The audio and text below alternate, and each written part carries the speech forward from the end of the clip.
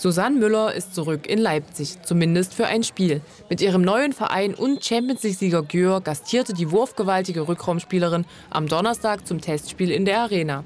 Der HC Leipzig zeigte gegen das Weltklasse-Team aus Ungarn eine couragierte Leistung und setzte sich mit 26 zu 23 durch. Natürlich hätten wir gerne gewonnen, aber ich denke, die Umstände haben es einfach heute nicht hergegeben. Und äh, hat super gespielt, war super motiviert und ja, wir konnten einfach unsere Leistung nicht abrufen.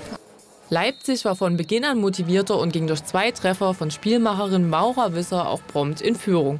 Die vielen Verletzungen zwangen Trainer Norman Rentsch zu einigen Umstellungen, doch die meisterte Leipzig mit Bravour. Ein Riesenkompliment an die Mannschaft, die halt diese Notlage sagen wir, umgemünzt hat, halt auch in eine andere taktische Variante, die wir halt vorne halt mit zwei Kreisläufen halt gespielt haben. Das war gut gewesen. Luisa Schulze schaltete sich immer wieder mit dem Rückraum ein und Leipzig blieb lange in Front. Beim Stand von 10 zu 9 in der 25. Minute ging Kür erstmals in Führung. Man schaut, welche Spielerin wir heute auf der Platte hatten. Caroline hat sich heute Morgen im Abschlusstraining noch verletzt. Ähm, wir hatten zwei Rückraumspieler heute hier im Kader. Und denke ich, ist es schon eine sehr beachtliche Leistung von uns. Der tolle Auftritt war geprägt von einer überragenden Katja Schülke. Sie hielt, als wäre sie aus dem Leipziger Tor nie weg gewesen. Drei sieben Meter und unzählige hundertprozentige Chancen der Ungarinnen vereitelte die HCL-Torhüterin. Sie hat sehr, sehr gut gehalten. Sie hat uns sicherlich da halt auch den entsprechenden Rückhalt gegeben.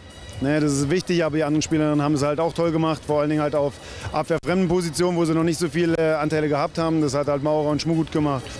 Und da kann man halt auch alle anderen halt loben. Auch in der zweiten Halbzeit ließ sich Leipzig vom Staraufgebot des Gegners nicht beeindrucken und behielt Oberwasser. Nur einmal war Gjör noch vorn, dann dominierte wieder der HCL und gewann den letzten Test vorm Saisonstart. Wir sind halt stolz auf die Mannschaft, bleiben aber trotzdem auf dem Boden.